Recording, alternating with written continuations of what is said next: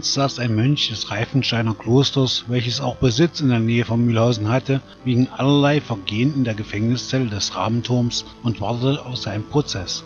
Da er unter anderem auch wegen Brandstiftung angeklagt war, musste er mit der Todesstrafe rechnen.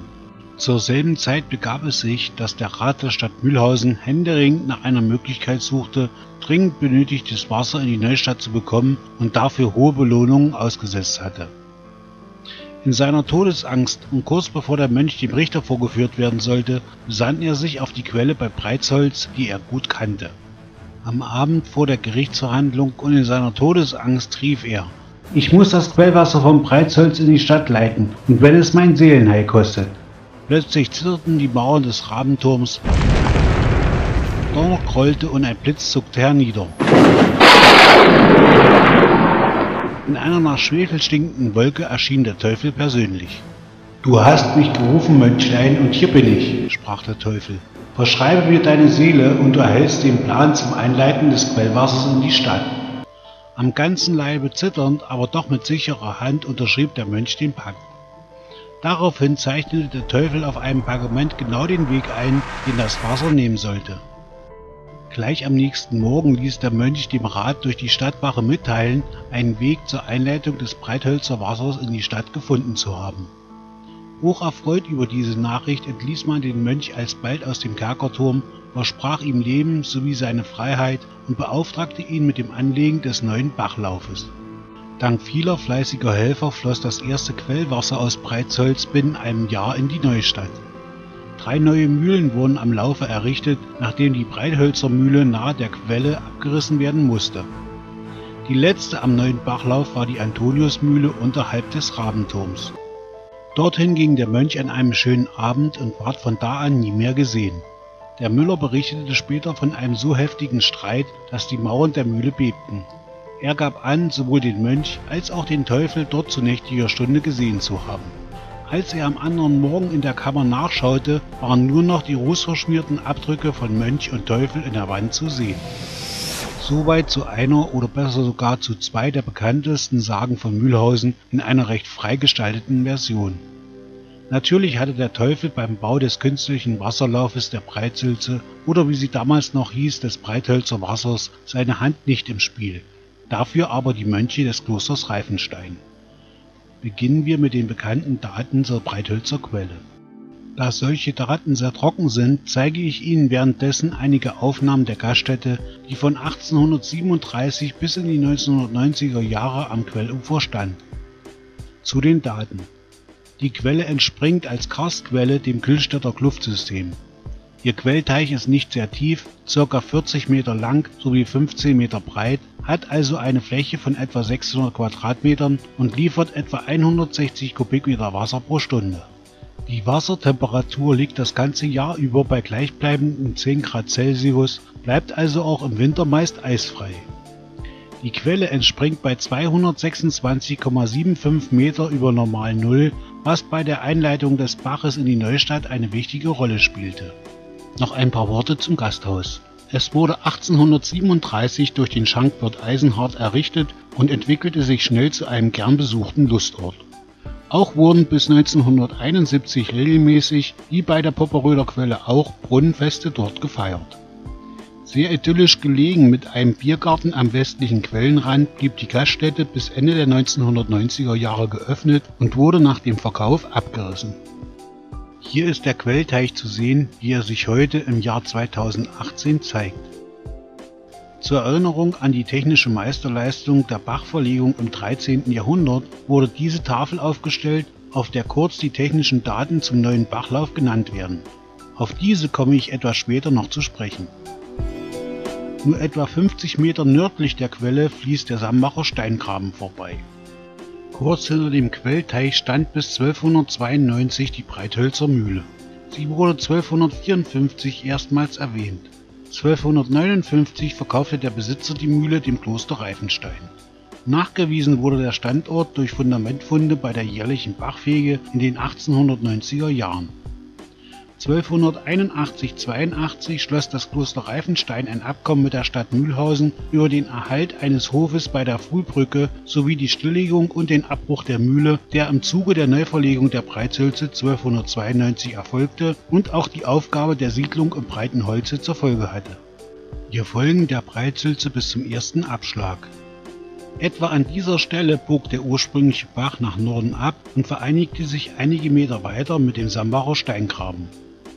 Das wär's gewesen mit dem Breithölzer Wasser, wenn nicht 1292 findige Mönche die Bachumleitung in die Mühlhäuser Neustadt zu Wege gebracht hätten.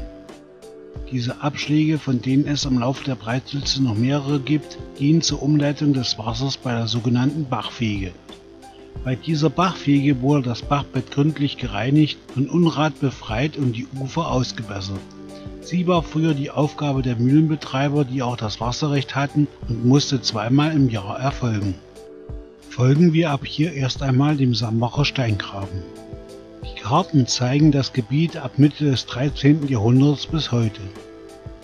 Nachdem der Sambacher Steingraben die Hollenbacher Landstraße unterquert hat, biegt er wieder nach Osten ab und folgt dem Straßenverlauf etwa 300 Meter. Kurz nachdem er nach Nordosten abbiegt, stand ab Mitte der 1850er Jahre die Helmboldsche Mühle oder auch Lohmühle.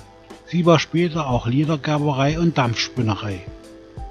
Da der Sambacher Steingraben hier eine Stauhöhe von 2,30 Meter erreicht, war ein großes Wasserrad vonnöten, das mit 9 Meter Durchmesser das größte von Mühlhausen gewesen sein soll. Mühle und Fabrik wurden 1912 geschlossen und das Wasserrad 1954 entfernt. Seit es diese Mühle gab, wurde der Sambacher Steingraben ab hier Mühlgraben genannt. Die sprachliche Entwicklung ließ nun das M und das H verschwinden und machte aus dem Ü ein Ö. Schon haben wir den Ölgraben, der in keinster Weise auch nur den leisesten Bezug zum Öl oder der Ölherstellung aufweist. Wir sind wieder an der Breitsülze und folgen dem Breitsülzenweg, der dicht am Bach verläuft. Rechts und links des Wassers finden sich fast auf der gesamten Bachlänge Gartenanlagen. Ein weiterer Abschlag kommt in Sicht. Dies ist der Abschlag Lohmühle. Er ist sehr alt und wahrscheinlich von Anfang an Bestandteil des neuen Bachlaufes. Gefertigt wurde er aus Travertinplatten und Blöcken und zeugt noch heute von den handwerklichen und technischen Leistungen der Menschen im Mittelalter. Von diesem Abschlag aus fließt, je nach Öffnung, ein Teil des Breitsülzenwassers in Richtung Hollenbacher Landstraße und in den Ölgraben. Während wir weiter dem Bachlauf auf dem Breitsülzenweg in nördliche Richtung unterhalb des Herbstberges folgen, werde ich etwas näher auf den etwas eigenwilligen Namen Breitsülze eingehen. Wie auch der Ölgraben nichts mit Öl zu tun hat, so hat auch die Breitsülze nichts mit der leckeren Sülze vom Fleischer zu tun und auch Mitglieder dieses Berufsstandes, der einst sehr häufig in Mühlhausen zu finden war, siedelten nicht vorzugsweise am Breithölzer Wasser. Hier schlägt wieder die sprachliche Entwicklung seit dem Mittelalter erbarmungslos zu. Ursprünglich nannte man die Breitsülze Breithölzer Wasser nach der Siedlung des Kloster Reifensteins nahe der Quelle. Danach hieß sie Breites Holz, später nur noch Breitsholz, woraus im Laufe der Zeit durch das Weglassen des Hs und dem Lautwechsel von O zu Ü sowie dem Anhängen eines Es die Breitsülze wurde. Kurz bevor die Breitsülze in einem weiten Bogen in Richtung Westen geleitet wird, unterquert sie die Straße zum Herbstberg. Überall kann man die Rohre aus den Kleingärten sehen, die zur Brauchwasserentnahme meist zu DDR-Zeiten in den Bach gelegt wurden. Auch sind manchmal noch alte Absperranlagen zu sehen, die heute aber meist ungenutzt sind. Von kleinen Gärten gesäumt geht es also jetzt Richtung Westen. Seit der Wende 1989-90 entwickelte sich dieses Gebiet immer mehr zu einem Wohngebiet im Grünen.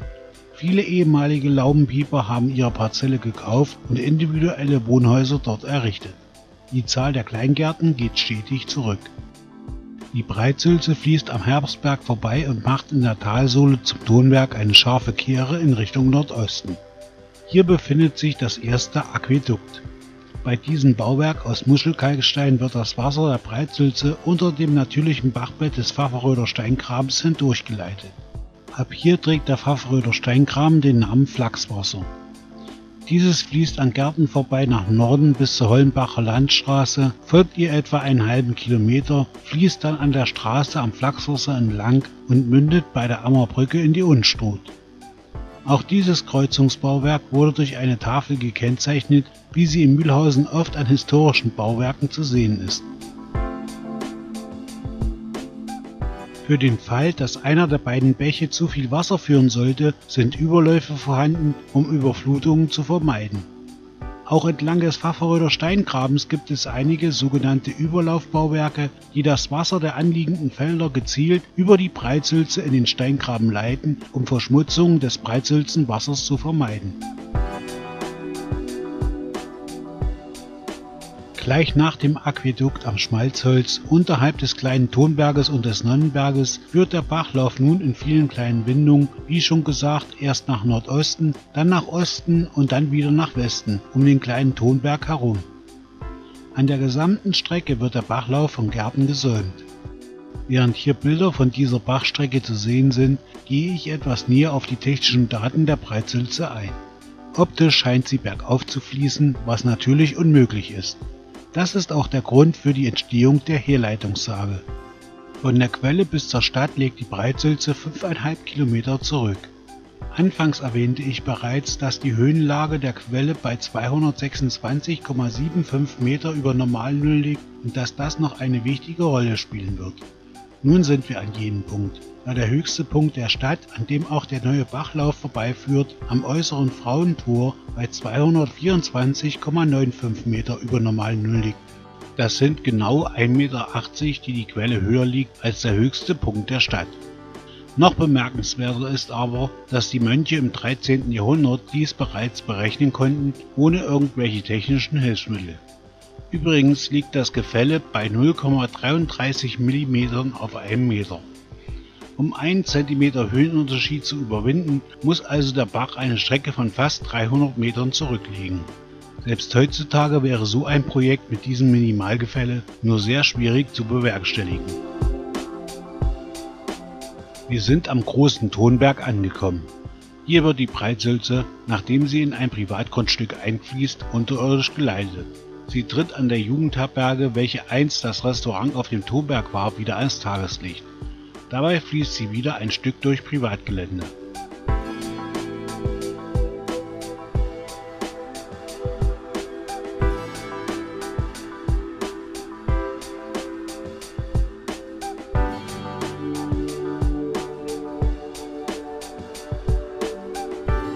Kurz ein paar Worte zur Geschichte der Jugendherberge und der Parkgaststätte auf dem Tonberg.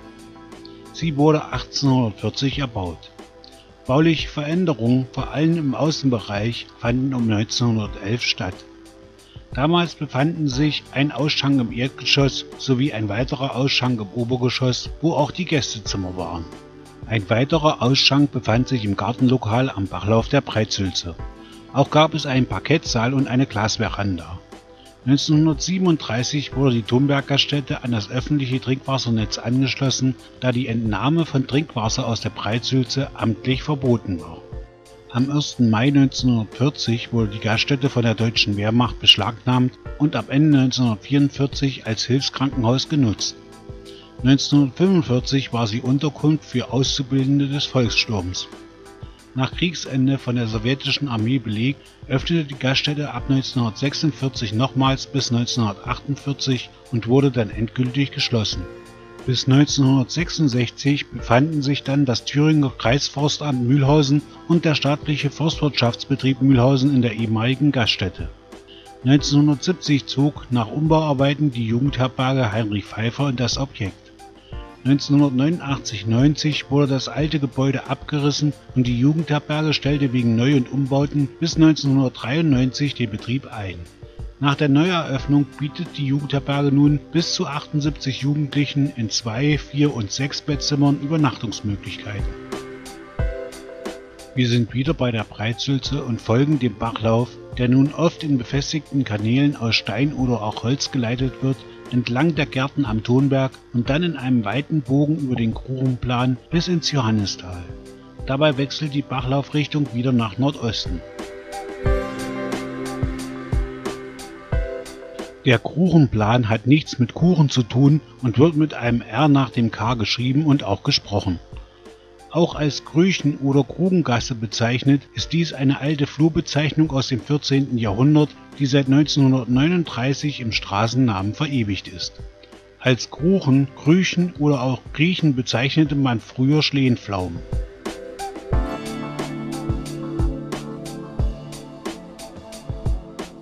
Unterhalb des Galgenberges biegt die Breitsülze nun wieder nach Westen ab und fließt ins Johannistal.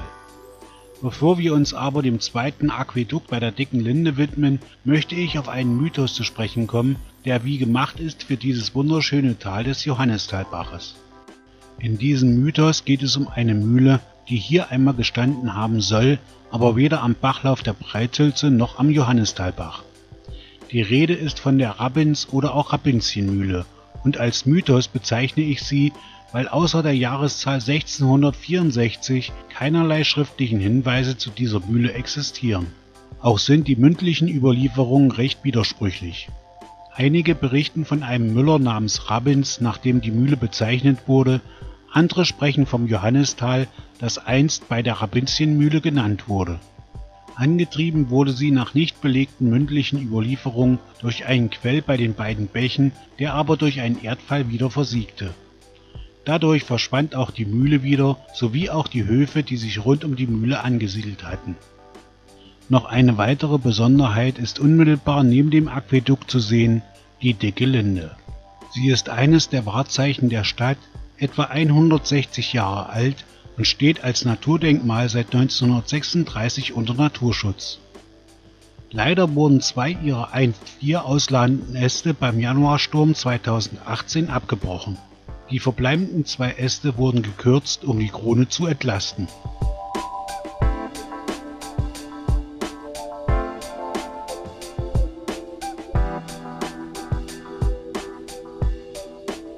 Von Baum wieder zu Bach bzw. zu Bächen. Unterhalb der Kleesvilla wechselt die Breitsülze zum letzten Mal ihre Hauptfließrichtung, um letztendlich in Richtung Osten fließend in die Oberstadt zu gelangen. Dabei unterquert sie den Johannistalbach. Auch dieses Kreuzungsbauwerk ist aus Travertinblöcken gefertigt.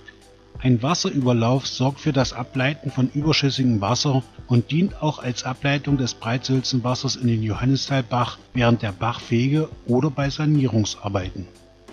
In vielen kleinen Windungen fließt nun die Breitsülze an vielen Gärten vorbei durch die Johannisstraße, die am Arionweg im Johannistal ihren Anfang nimmt. Dabei umfließt sie den Schützenberg, der in früherer Zeit auch Galgenberg genannt wurde ein Teil dieser Strecke legt sie unterirdisch in Rohren zurück. Hinter dem Schützenberg tritt sie wieder hervor. Bevor wir aber die Breitsülze auf ihrem letzten Stück Weg begleiten und dabei auch einen kleinen Einblick in die Bachsanierung 1999-2000 bekommen, ein paar Worte zum Schützenberg. Der Schützenberg wurde bis Anfang des 19. Jahrhunderts Galgenberg genannt.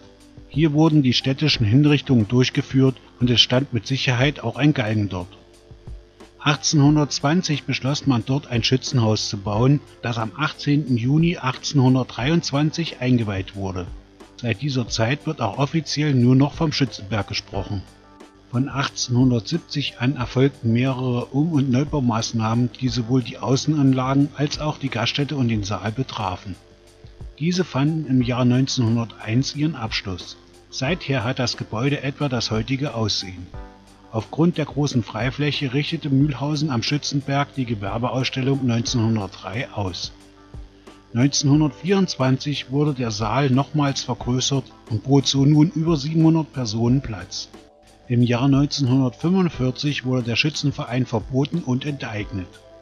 Ab 1947 war Paul Schlenker der Treuhänder und 1948 wurde das Gasthaus Schützenberg in Volksgarten umbenannt Danach für allerlei kulturelle Veranstaltungen genutzt, bekam es 1973 den Namen Zentrum der Jugend. Bis 1990 auch als Mekka der Mühlhäuser Jugend bezeichnet, wurde das Haus nach der Wende geschlossen und verfiel zusehends. Eigentümer war seit 1990 wieder der Mühlhäuser Schützenverein Nachdem etliche Verpachtungsversuche fehlgeschlagen waren, konnte mit gesicherter Finanzierung das Haus grundlegend saniert werden und am 20. März 1998 feierlich wieder eingeweiht werden. Leider musste das Objekt im Jahr 2002 verkauft werden. Der neue Besitzer sanierte nochmals Haus und Saal und verpachtete die entstandene Großküche 2005 an die Behindertenwerkstätten Mühlhausen. Der Saal wird separat für Großveranstaltungen, Tagungen oder Feste vermietet.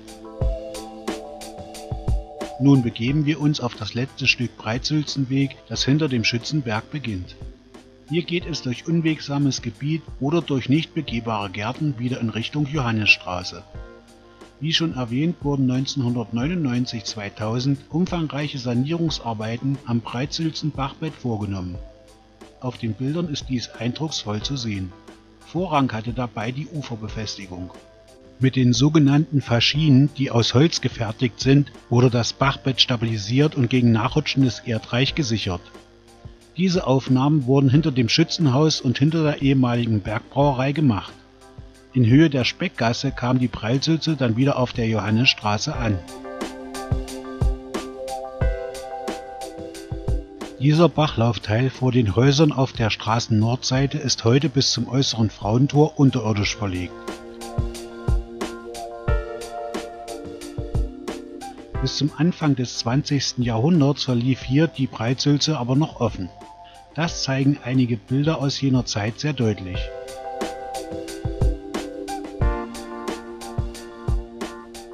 Mit dem Grundstück, auf dem die Villa Franke steht, gleich an der Ecke zum Hagebuttengraben und kurz vor dem äußeren Frauentor, beschäftige ich mich als nächstes.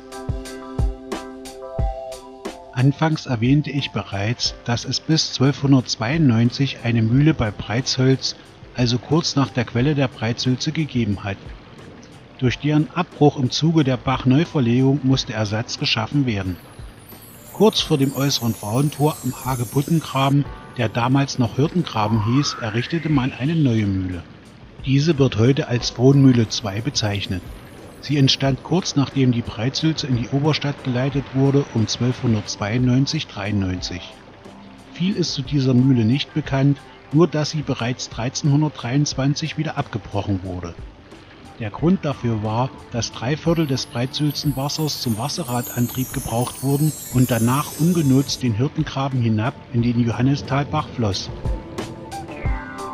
Heute tritt am Hagebuttengraben die Breitsülze wieder als Tageslicht, um etwa 50 Meter später wieder zu verschwinden und die Straße zu unterqueren.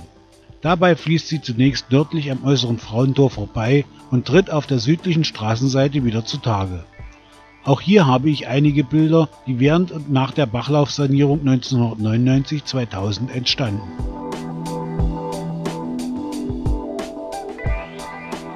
Mit dem äußeren Frauentor haben wir auch den höchsten Punkt der Stadt erreicht.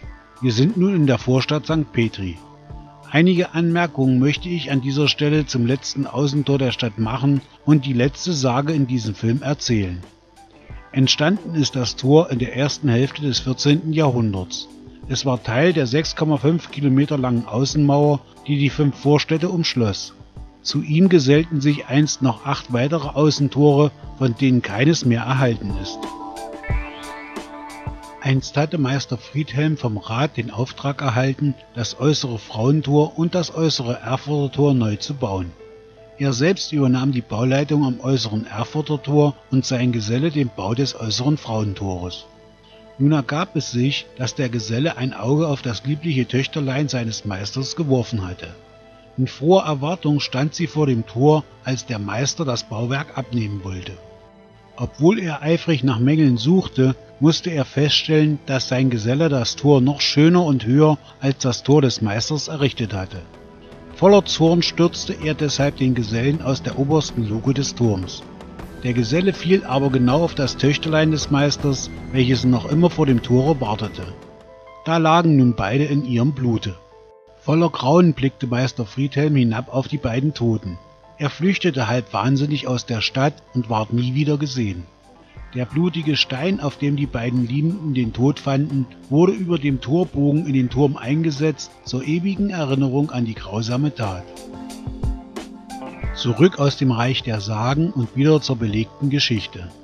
Im Jahre 1313 wurde innerhalb der äußeren Stadtmauer beim äußeren Frauentor die Blowachmühle erbaut, zehn Jahre vor dem Abriss der nur etwa 200 Meter entfernt gelegenen Frohnmühle II. Bis 1840 war die Blubachmühle eine reine Getreidemühle. Danach war sie dann Spinnerei und Strumpffabrik, des Nachts aber bis 1856 weiterhin Getreidemahlmühle. Ab 1896 betrieb der neue Besitzer bis 1934 eine Strick- und Wirkwarenfabrik.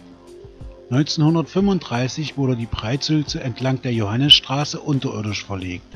Auch auf dem Mühlengelände wurde im Mai 1948 der noch offene Bachlauf verrohrt, wodurch der Besitzer seine Wasserrechte einbüßte. 1951 wurde dann auch das mittlerweile marode Mühlrad entfernt.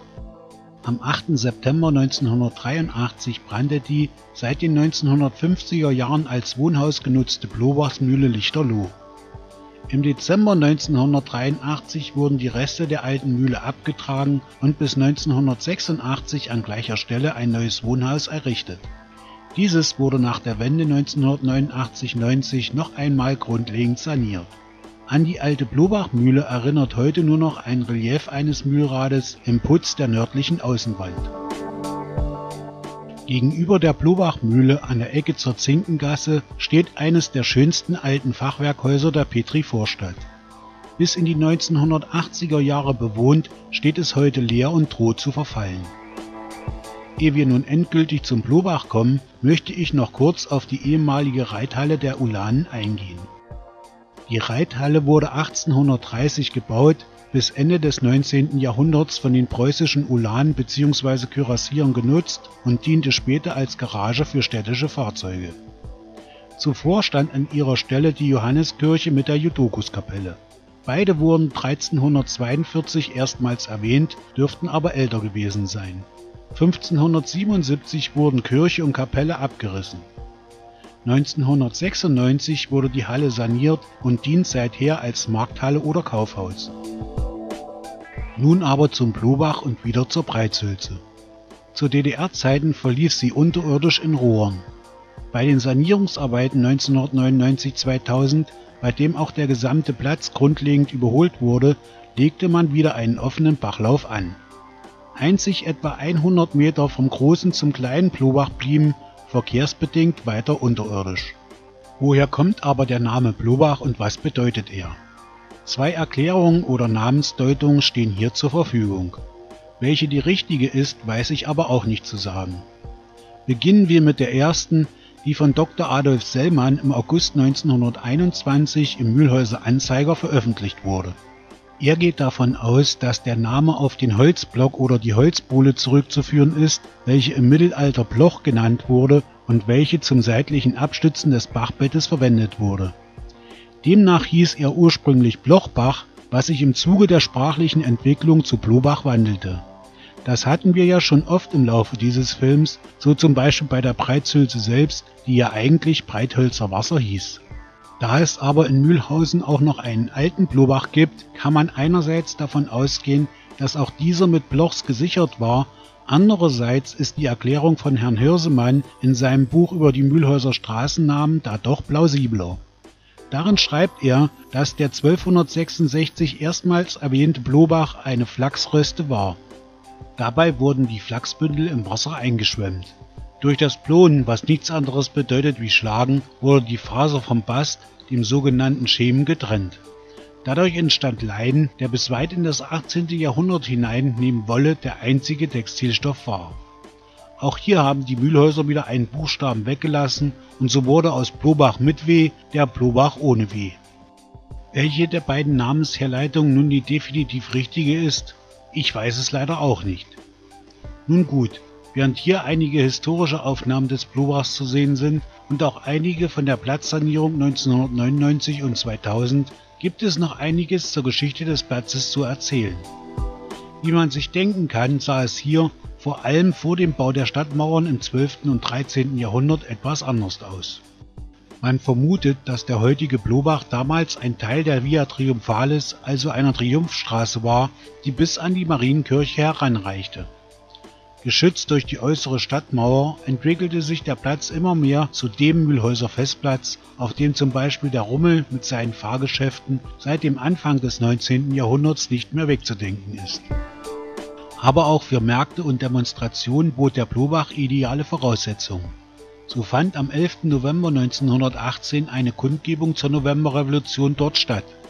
Auch zu Mai-Demonstrationen wurde der Platz bis Anfang der 1970er Jahre genutzt. Militäraufmärsche wie dieser am 10. Januar 1935, nachdem die 37. Panzerabwehrabteilung der deutschen Wehrmacht in Mühlhausen einzog, bleiben dem Blobach in Zukunft wohl erspart, da sich das Militär 2013 aus Mühlhausen verabschiedet hat. Damit ging aber auch eine fast 200-jährige Tradition als Garnisonsstadt zu Ende. Rund um den Blobach gab es auch einige Gaststätten, wie zum Beispiel den Thüringer Hof, das Blobachsheim, das Blobachseck und das Gasthaus Drei Rosen, welches 2017 abgerissen wurde.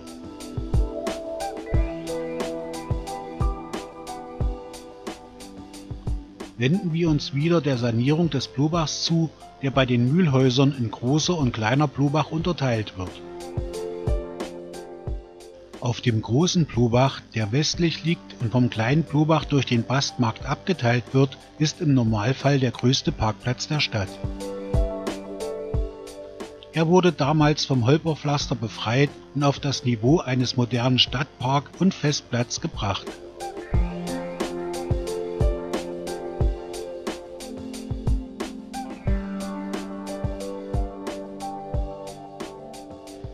Auf dem kleinen Blobach fand man bei den Bauarbeiten die Fundamente vom Vortor des Inneren Frauentores, die heute in das Straßenpflaster eingearbeitet ein historisches Highlight darstellen.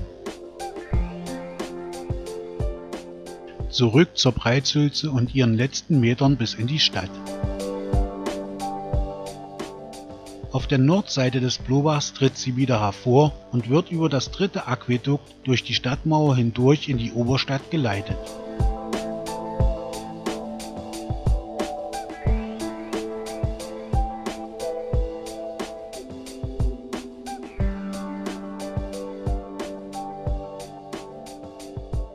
Bis in die 1930er oder 40er Jahre war das originale Aquädukt noch zu sehen. Später wurde, wahrscheinlich bei Sicherungs- und Sanierungsarbeiten an der Stadtmauer, der Graben verfüllt und damit auch das Aquädukt verdeckt. Bei den Arbeiten 1999-2000 entdeckte man es wieder und band es in das neue Konzept mit ein. Dazu wurde zuerst das alte Aquädukt freigelegt sowie gesichert und darauf der neue Kanal bis an die Mauer verlegt damit sind wir am Ziel der 5,5 Kilometer langen Reise entlang des Breithölzer Wassers angekommen. Das Wasser selbst braucht von der Quelle bis hierher etwa sieben Stunden, der Mensch zu Fuß etwa anderthalb Stunden, soweit der Bachlauf begehbar ist. Wir haben es in diesem Film in knapp einer halben Stunde geschafft, mit hoffentlich vielen interessanten historischen sowie sagenhaften Berichten um und zum Bachlauf der Breitsülze.